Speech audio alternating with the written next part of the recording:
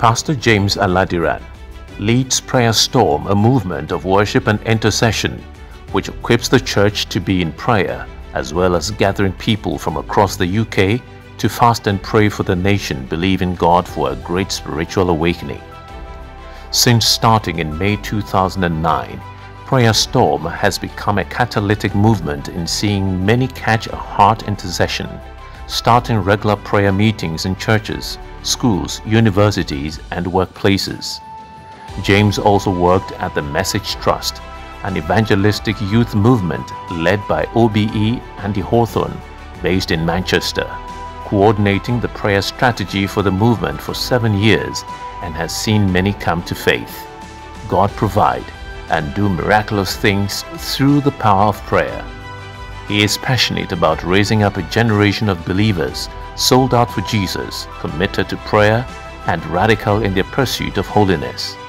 James lives in Manchester, UK with his wife, Rebecca, and their children. Church, with a standing ovation, let's welcome Pastor James Aladiran.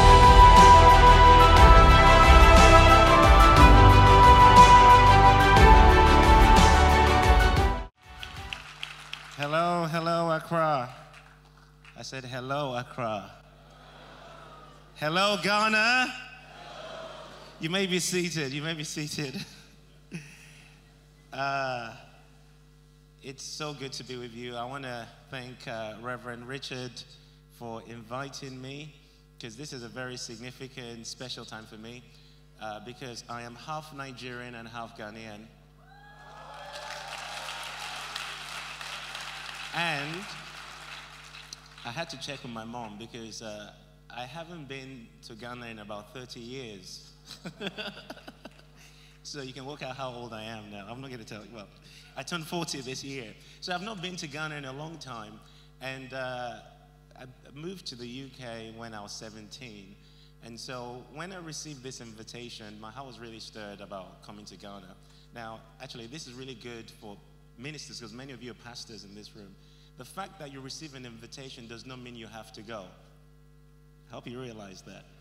Because the person inviting you needs to have jurisdiction in the territory they're in spiritually.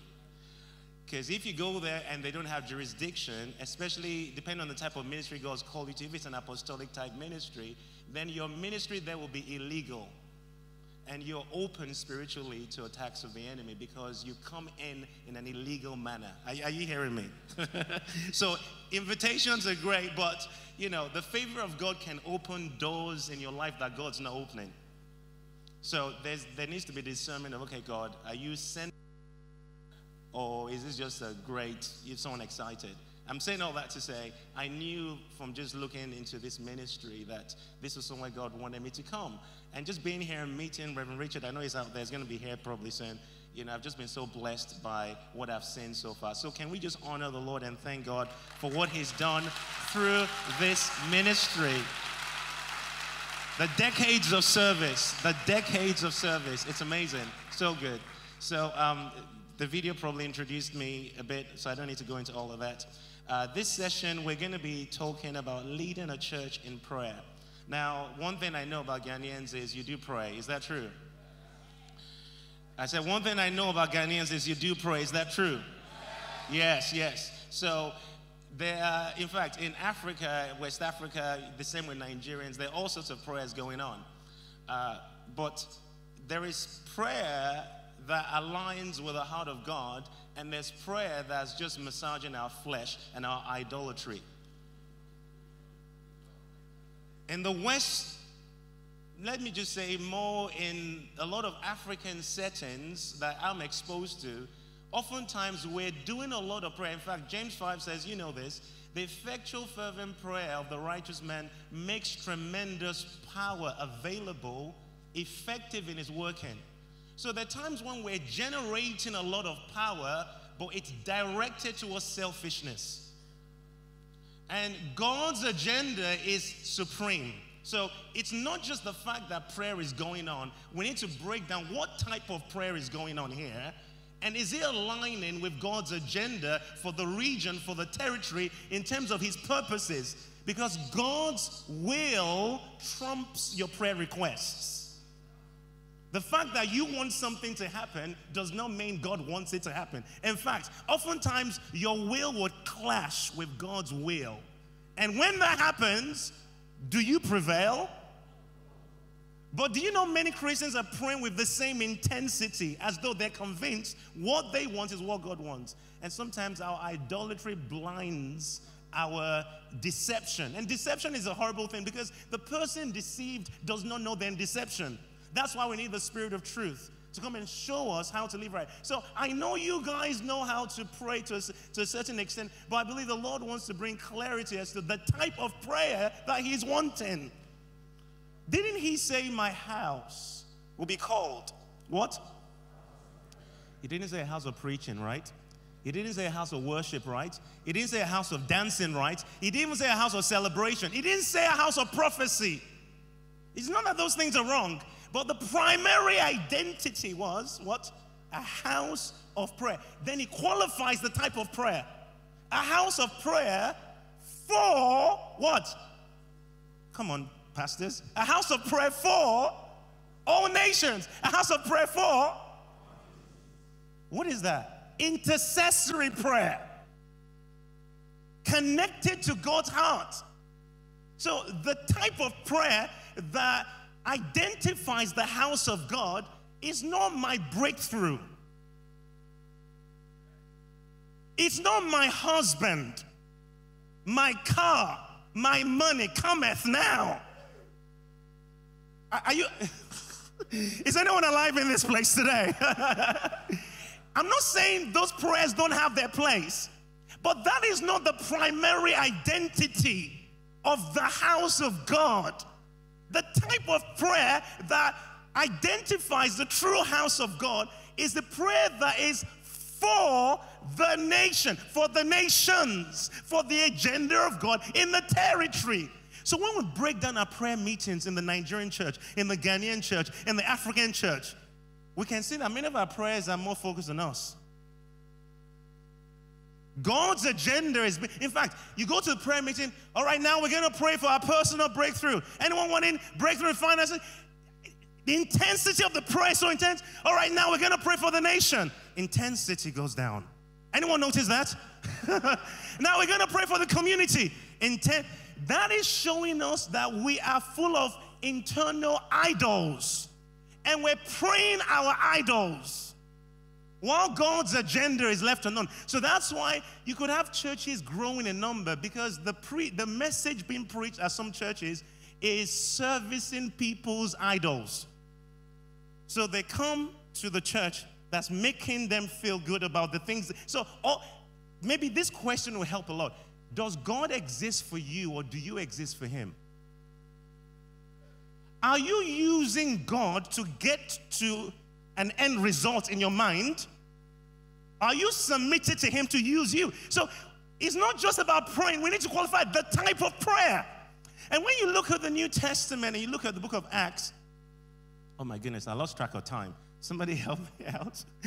I know I've got about 45 minutes, so I need to finish just before one. Is that correct?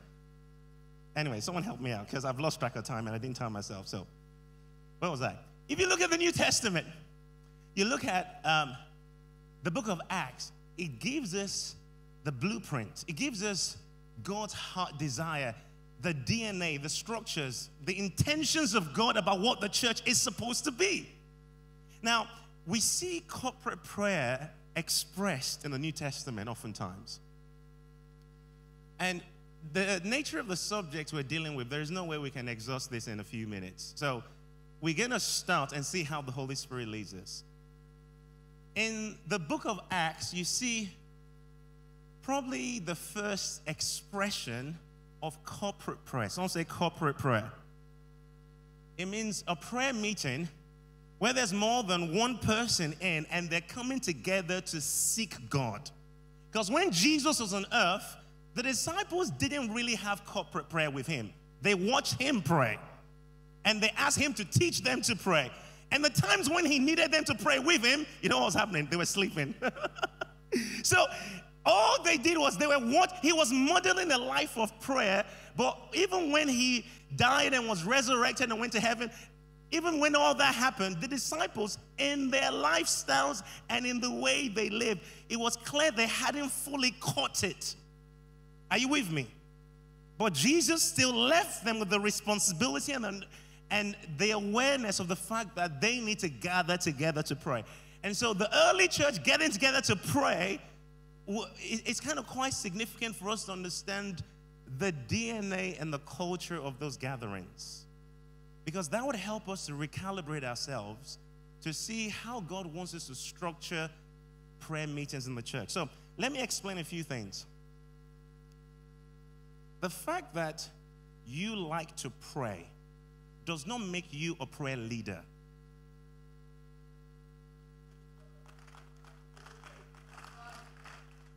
There are many people that like to pray. You put a microphone in their hand, and the prayer meeting crashes. Pastor, Reverend Whitcomb understands what I'm talking about here. you know what? The early church understood something that we often don't understand. Let me read you just a few uh, uh, quotations from the early parts of the book of Acts. Acts 1:14, they continued in one accord. Acts 2:1, they were in one accord, they were in one place in one accord. Acts 2:46, they continued daily in one accord. Acts 4:24, they raised their voice to God in what? What do you recognize as a common denominator there? What do you recognize there? One accord.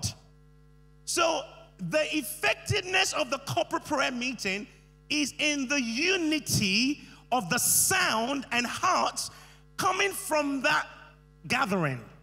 It's not just the fact that there's a microphone in the hand of someone and they're gathering together in the call prayer meeting. The fact that they're gathering does not make the meeting effective. Because have you noticed we're called the body of Christ, not the body of Jesus? Because in the Christ dimension, we have access to a lot more as a body than we do as an individual.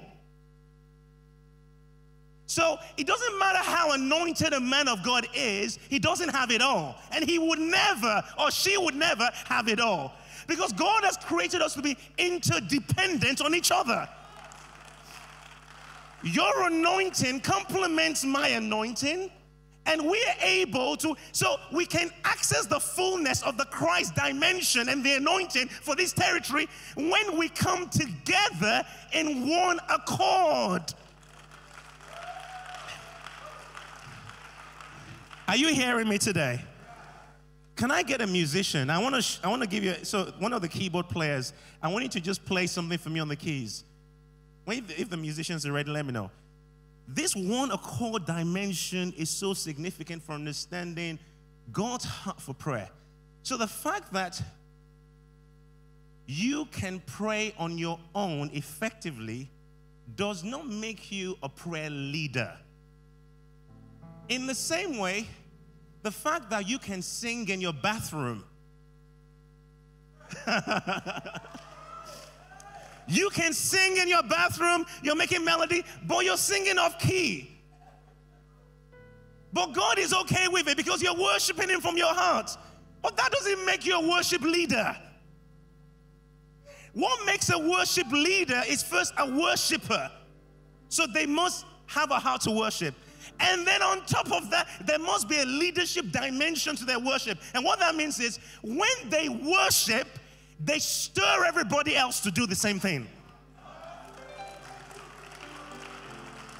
So the worship leader is not there to do your worship for you.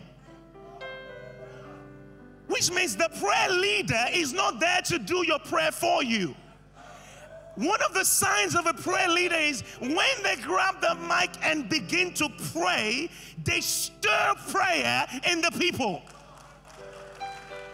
And one of the ways we know prayer is stirred in the people is see, the more you preach and the more you speak on platforms, you start to discern when people are with you or when they're not with you. It's like an intuition. The times you can be preaching, you can tell no one is hearing me here.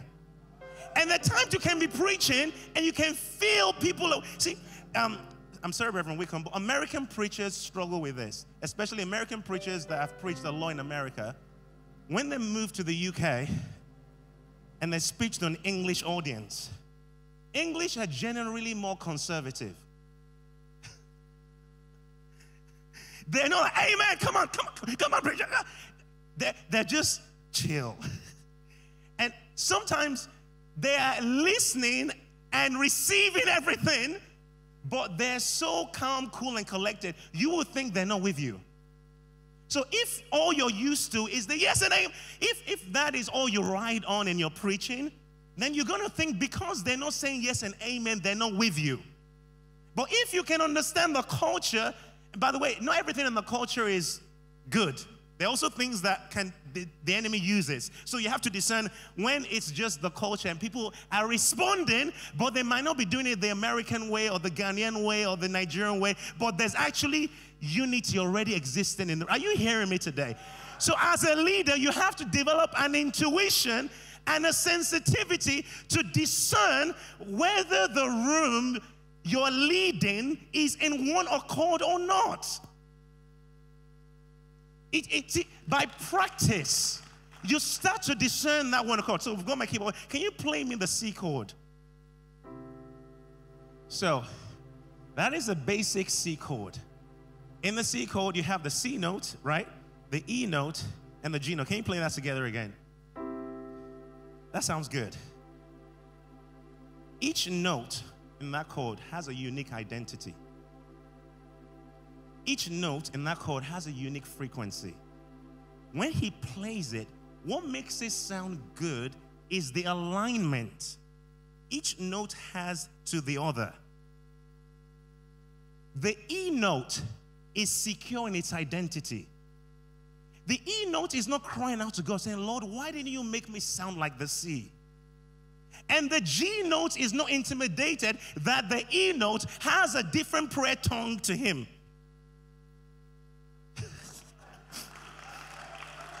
Are you hearing me? Can you play that chord again?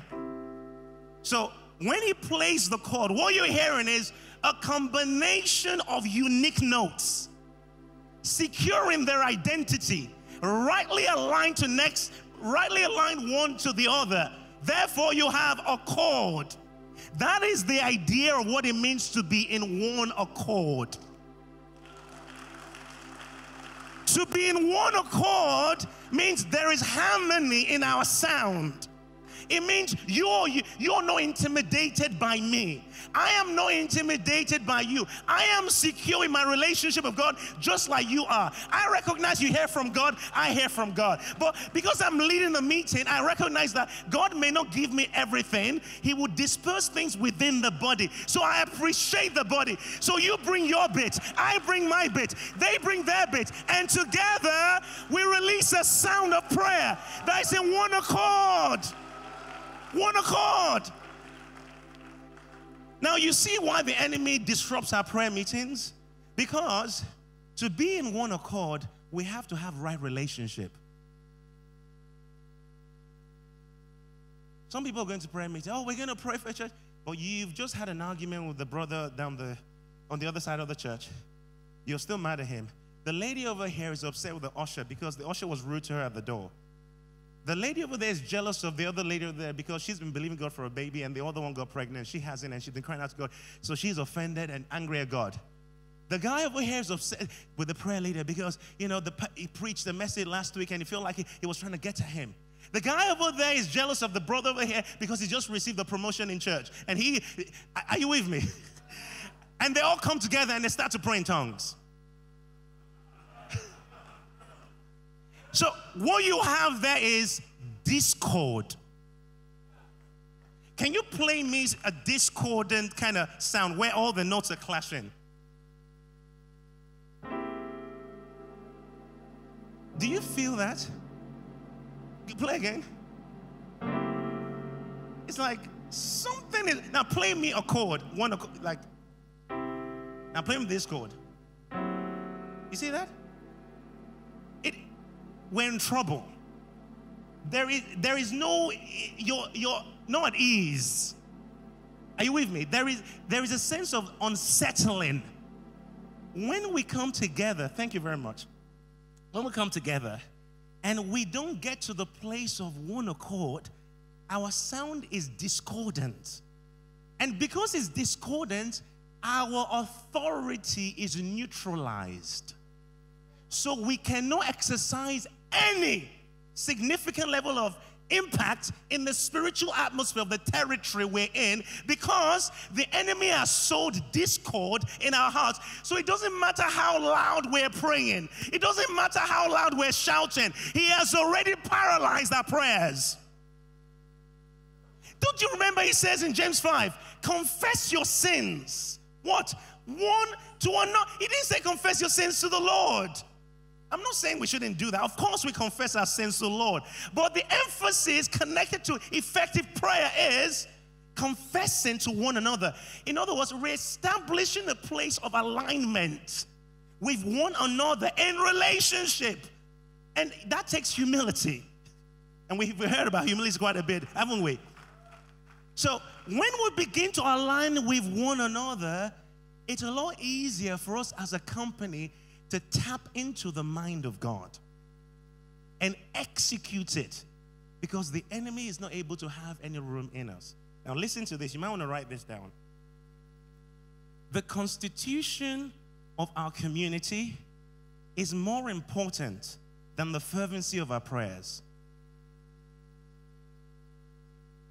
The constitution of our community as a church is more important than the fervency of our prayers.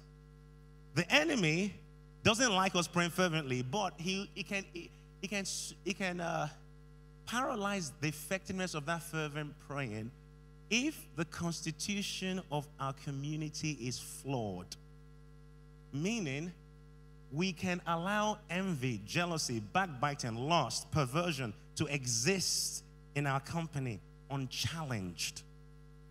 And we're somehow okay with that because we think we're doing what churches do. Every church comes together to pray. Maybe it's Friday night. Okay, we're just going to do our prayer meetings as we normally do. We think we can just carry on with the activity while there are so many loopholes in our armor and the devil is easily able to get in. So, one of the jobs of a prayer leader is to be able to mobilize the church to a place of one accord. To mobilize the church to the place of one accord, you have to be self aware. See, we cannot be an army if you are not a soldier. You cannot mobilize the church to be in one accord if you don't even understand the makeup of your own soul and your own spirit. See, sometimes we're coming together, we're wanting to pray, but you know what it's like? You're in the meeting, but your mind is at the market we cannot come together to fuse into one if you as an individual don't know how to gather yourself into one. Are you hearing me? Now, many of you pray, so you would appreciate what I'm about to say. The most effective times of prayer is when you, as a person, you yourself, you are in one accord. I mean, your body lines up with your soul, lines up with your spirit, and they fuse together. Anyone knows what I'm talking about? When you enter into that mode, you know you are unstoppable. You can, in fact, your physical motion is connected to what you're feeling in the spirit. You're not controlling yourself per se. It's like your physical motion is just giving your spirit ventilation. Anyone knows what I'm talking about here? in those places you're unstoppable. Why? Because you've entered a place of being one accord in yourself. If you don't know how to enter into a place of being one accord in yourself, how would you get other people to enter into it themselves? And the more you know how to get there yourself, the more when you're leading a prayer meeting, you can tell people are distracted. You can tell people are not with you. You can tell we're not, you can feel some things interfering. You can feel people are discouraged. And see, as a leader, because you can sense that your goal is we need to get to one accord. So, as opposed to just carrying on with the prayer, you're, as you're leading, you're praying, Holy Spirit, what are the keys to bring us all together? Some people just lead prayer like a machine. They're not even thinking about the people with them. Are you hearing me? They just keep going. Just, and so I'm amazed because I watch some people lead prayer and I'm thinking, you, you're, you're good with the words you're saying and everything you're releasing, but the congregation is not with you. And it seems like you're not bothered that they're not with you. you that's not leadership. You're not leading anyone.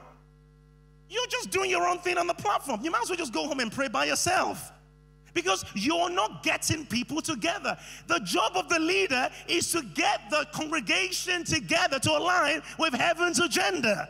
So, constantly, as you're leading, you're also talking to the Lord. Lord, are we really together? Have we, have we aligned with you properly? What are the things we need to deal with? Sometimes you need to start with repentance. Sometimes the Lord might lead you into praise. Sometimes the Lord might lead you to pray specific things that deals with idols that's stopping what He really wants to do in the meeting. I don't know. The Holy Spirit is the ultimate intercessor, right? So at the end of the day, we have to lean on Him to lead effectively.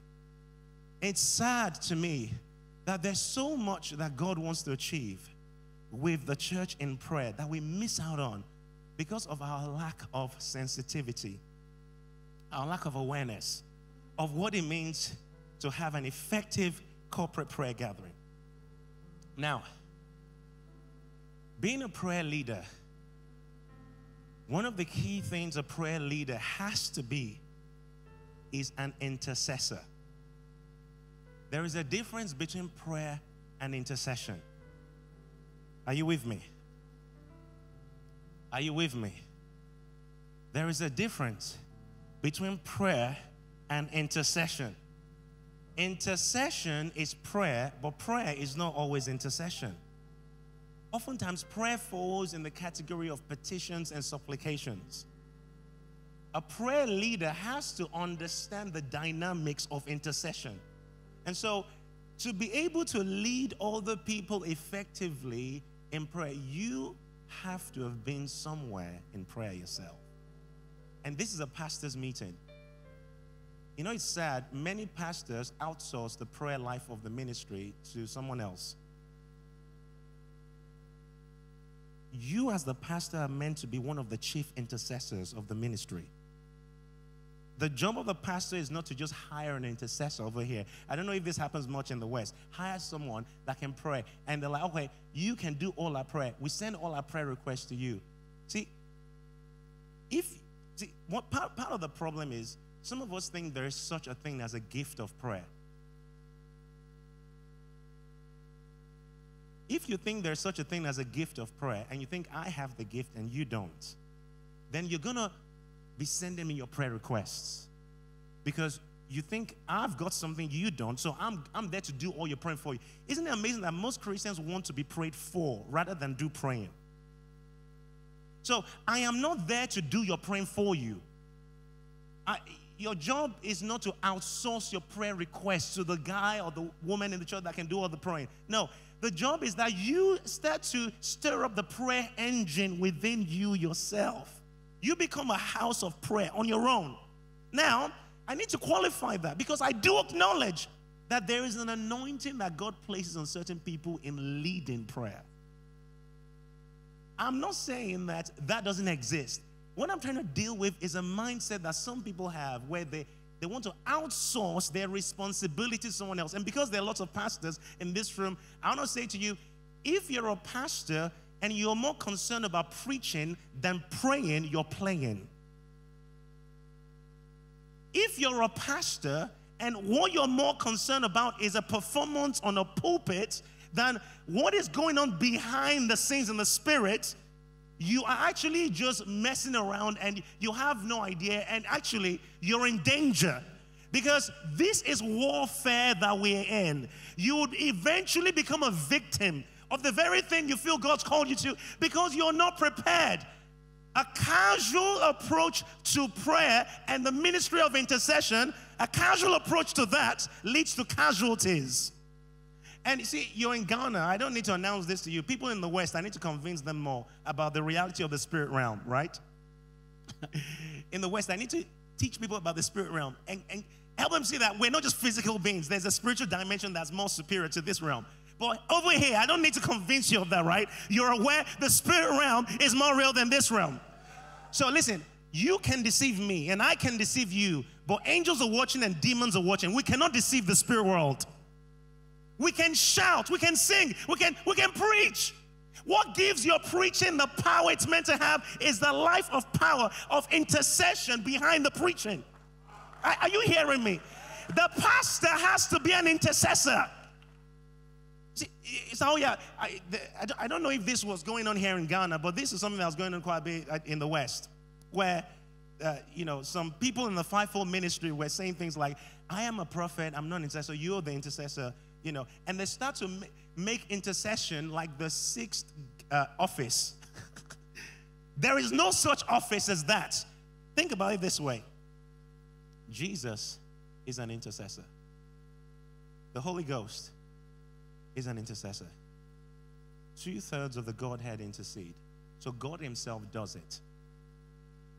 That tells you the weight it has in the heart of God. If He Himself does it, He's inviting us into a reality He's currently in right now. You know, the temple has three dimensions to it you have the outer court, you have the um, inner court, and then you have what? The Holy of Holies. What did Jesus say? Ask and you shall receive. What do you say next? Seek and you'll find. What did he say next? Those three things he said, you can liken it to the three dimensions in the temple. The ask is in the outer court.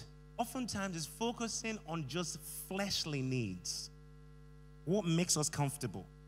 The seek is in the inner court. You're seeking the face of God. When you seek the face of God, you cannot miss his heart. Sorry, let me say this. So when you seek the face of God, you cannot miss his mouth. And then the inner court, it's, it's seeking the heart of God. Something really interesting is the inner court is really where we're meant to live from as leaders. Now, if the outer court is the asking realm and the inner court is the seeking realm, then the Holy of Holies is what? The knocking realm. Now, do you know what is before you enter the Holy of Holies? The altar of incense. You know what the altar of incense does? It's releasing incense. And incense represents what? The prayers of the saints. So here's how I see it you will not be admitted into the deeper realms of fellowship with God unless you're smelling like incense. You have to be baptized in the reality of incense. It's not just praying because you're about to preach. It's not just praying because you have a speaking engagement. As the pastor, you have to be the chief intercessor. The level of investment you're putting in your life of prayer has to be beyond the average. And you need to ask the Lord, what kind of deposits are you wanting me to make in the spirit as the lead pastor? Because as a pastor, you cannot, let me say this way, you reproduce after your kind. It doesn't matter whether you heard T.D. Jakes preach or you heard, you know, Pastor Wickham preach, you know, you heard, and you, you got this message over here, this revelation here, this revelation, and you put it all together, and then you have your own sermon. Maybe you add your own revelation to it. That is not what's going to change the people. In fact, if you preach the most amazing message, the people will remain the same if you have not become the message. You become the message, and then when God gives you a voice to preach it, they become what you have already become. Are you hearing me? You can preach anyone else's message, but no one can truly preach that message that you have become. When you become it, it's like God gives you words, and as you speak it, it strikes the people, and those words become spirit and life. It brings recalibrations, it, it kind of erases demonic programming that's gone in their minds. You have no idea because you have become it. So, as the pastor, you don't need to teach on prayer for the church to get it. I'm not saying don't teach on it, you teach on it. But because you have become it, even when you're not teaching on it, you're emitting that spirit of intercession. See, see, this is why it's important that you live pure. This is why it's important that you live pure. Because some people think, oh, you know what, my secret life, you know, not that important in terms of no one knows what's going on in the secret. But you emit you transmit who you are. That's why it's even important who you sit under and who you listen to. Because if I am living in immorality, it doesn't matter if I'm, see, you can be theologically correct and spiritually wrong. It doesn't matter that I'm speaking the right words. Thank God for great theology. But you can be speaking the right words, but operating from a spirit of perversion. And even though your words are right, that is what you're transmitting. It doesn't matter that you speak, you're saying, do not sin, do not live in adultery, but you yourself, you're doing it. Meaning, even though your words are saying that, what you're actually imparting the people with is the life that you live in. So stop trying to hire the intercessor. I'm not saying don't have intercessory brothers and sisters who are leading the prayer. I'm saying, Pastor, you become it. Because what God wants us to have is not just prayer meetings. He wants us to have a prayer culture. I don't know what it's like here in Ghana, but you know, in, in the West, in Manchester and other parts of the UK, you know, Muslims are taking over. And they're raising up altars. And I often like to, I mean, you should know this. Prayer is powerful, whether you're in the kingdom of light or in the kingdom of darkness. They fast, they pray.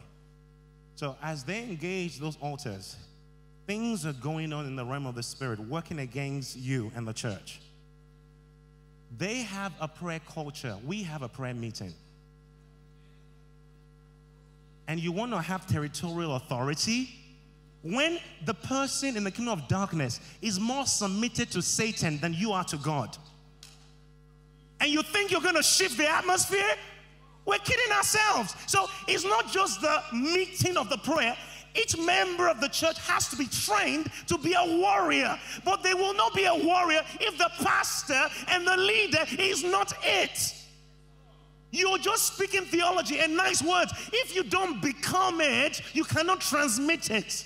And then when you become it and begin to transmit it, as you begin to support other people who have an anointing and leadership, then you begin to help them by modeling good leadership in prayer. I've been to meetings where we're meant to pray for maybe an hour. The pastor comes up. We're meant to pray for an hour, right? Everyone say an hour. The pastor speaks for 45 minutes. And then maybe they might do a worship song for five minutes. and then the last 10 minutes, they do some wimpish prayers. Didn't we agree that we're here to pray for what? So, what that says is oftentimes the leader, if they're uncomfortable with something, spiritual activity such as prayer, they default to their natural gifting to cover up for their spiritual bankruptcy. Sometimes instead of praying, we're singing. Now, don't get me wrong, singing and worship are two different things. Worship and intercession go hand in hand. But there are times maybe, see, I'm talking from a Western perspective. So I've not been in Ghana and Nigeria long enough to understand what prayer meetings are like. But where I'm coming from, sometimes we use the singing to cover up for the fact that we don't want to pray. So they keep singing. They keep singing. And then we say, let's pray. When we say, let's pray, you can feel the energy and momentum nosedive. It's a sign that you don't have warriors in the room. And that means, as a pastor, you have work to do to raise them up as warriors. My 10 year old son is being raised as a warrior. He prays in tongues for an hour. I'm saying, listen, because of the way the world is getting, I said to my son, how, what kind of parents would I be? to put you in front of cartoons, movies, and TV all day when you're being sent into the battlefield. We're going to train you for war here. You're going to pray in tongues for an hour. You're going to pray in the spirit. Oh, Dad, I don't feel like it. Well, you're not a feeler, you're a believer. So we are going to learn how to access the realm of faith because right here, God is a rewarder of those who diligently seek Him. And last time I checked, the Bible said, train up a child. Are you hearing me? Train. Tra- everyone say train. So when you're training, you heard the previous minister said, even when he was going to the gym, he didn't want to sometimes. But because he had a trainer, what are, are you with me? Get up, we're doing this, whether you feel like it, whether you don't, because I'm instilling in you the warrior mindset. In the same way, as leaders, you need to train your church to be warriors. And here you begin to, to fine tune the power that's being generated in the prayer because you understand that the house of God is meant to be meeting the needs on the heart of God for a territory. It's not about your agenda, it's His. So when you begin examining a lot of our prayer meetings, based on what I'm seeing right now, what I'm saying, it's sad to say, a lot of our big prayer meetings in Africa that I have been observing and sometimes even joining, oftentimes it's not connected to the agenda of God for a region or territory. We're very much focusing on what we want here and now. We're still in the outer court. We have not been drawn into the deep places. And I'm assuming my time is up. So I'm going to stop because I believe this is something that God is wanting to stir up. I can, I can keep going, but I'm going to stop right now. Pastors, I'm, I'm, I'm saying this because the heaviest molecule in apostolic Christianity is the intercessory dimension of the church. And the enemy is scared of it. So if he can't stop us from praying, he stops our prayer from being effective. We know in one accord. If he can't stop us our prayer from being ineffective and we can be in one accord, he allows us to connect based on idolatry. So we may be in one accord, but we are not shifting the atmosphere in the region. We're very selfish. And so prayer is going on, but it's not really advancing the kingdom. In the West, some people ask me questions like, James, what do you think is going on? You know, Africans, they're praying so much. They're praying so much, but why is that the society is not even changing? I'm, I'm telling you some of the reasons, not all of it, but some of the reasons why, with all the prayer being generated, we're not really shifting things in the atmosphere. There's all sorts going on in here that's causing us to be ineffective. You understand with me? Let's pray.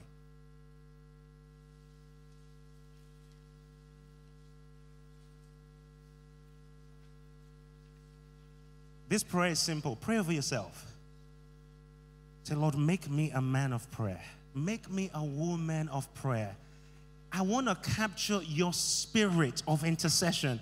I don't just want to have theological ideas that are great. I want to have reality of those ideas in my life. I want to transmit the spirit of intercession. Make me a leader in prayer in my congregation. I don't just want to preach sermons, I want to live it out in such a way that there is an impact everywhere I go, Father. Make me a man of prayer. Make me a woman of prayer. Align me with your agenda for my territory. Burden my heart with what is on your heart. Rid me of my idols.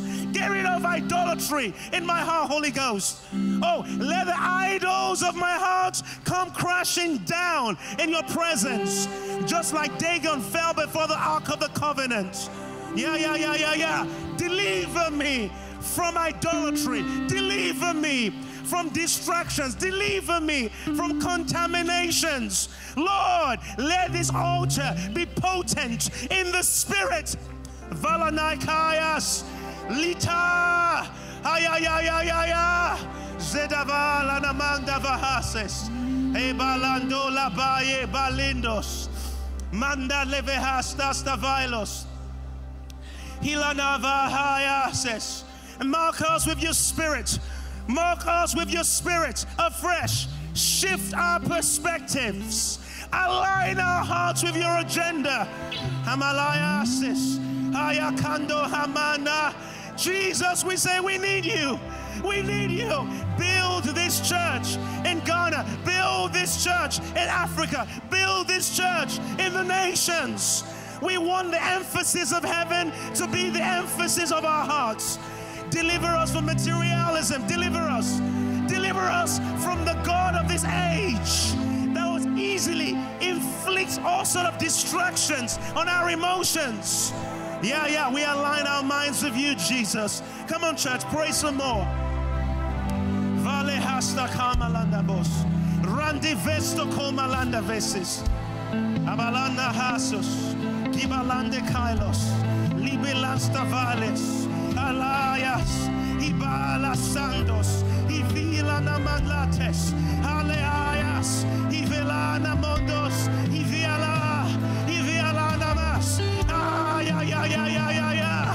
We will be a house of prayer, a house of prayer. This temple is set apart to you, Lord.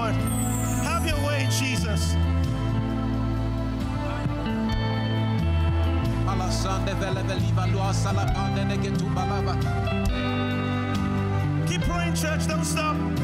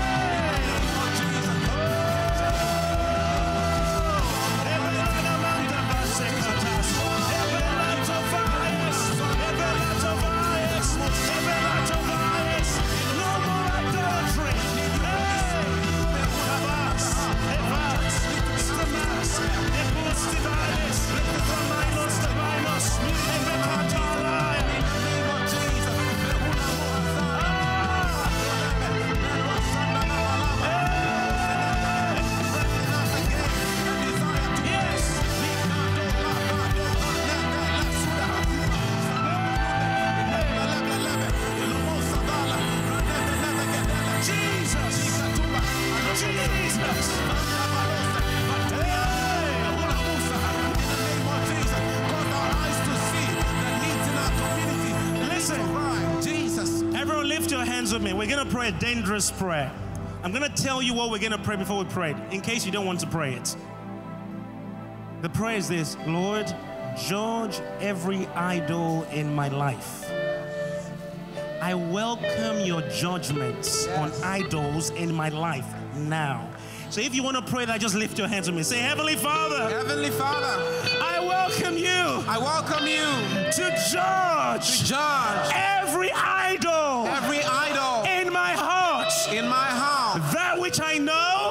which I know, and that which I don't that know. which I don't know. Judge these idols Judge me, Holy Ghost, and make me and make me a house of a prayer house of prayer for the nations. for the nations. Come on, lift your voice and In the name right of now. Jesus. Hebalandos. idols. Hebalandos. of Hebalandos.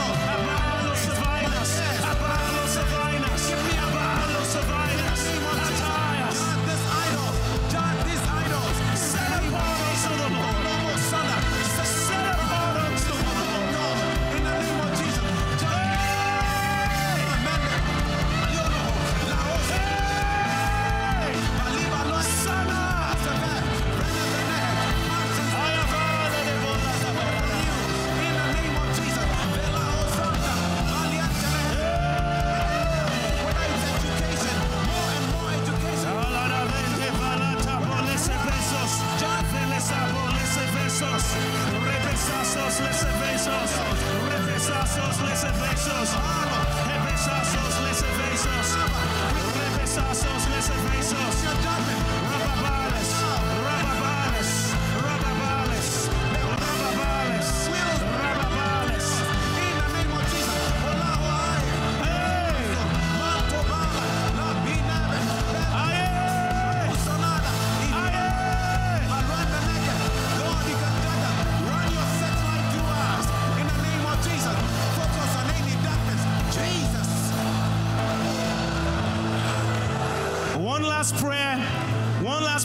Focus, and I'm going to hand over to Reverend Richard. As we're praying, I just feel this word that the Lord is wanting to repair altars. But not just, the, the, the, the, impression I get is not just individual altars, but it's like corporate altars. Many of you are pastors, and the altar in your church, the, the, the, the altar of prayer, it needs like a repairing. You know, like Elijah repaired that altar. So I want us to pray this prayer that just like Elijah repaired the broken altars, as we leave this conference, the enemy is going to regret. He is going to regret the day he oppressed us.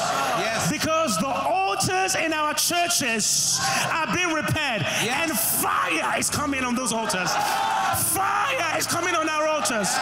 So, Father, right now in Jesus' name, lift your hands with me. We say in the name of Jesus. In the name of Jesus. Every broken altar. Every broken altar. Every corrupted altar. Every corrupted altar. In our churches. In our churches. As a result of this conference. As a result of this conference. We're making a declaration. We're making a declaration. That there will be a repairing. There will be a repairing. There will be a reordering. There'll be a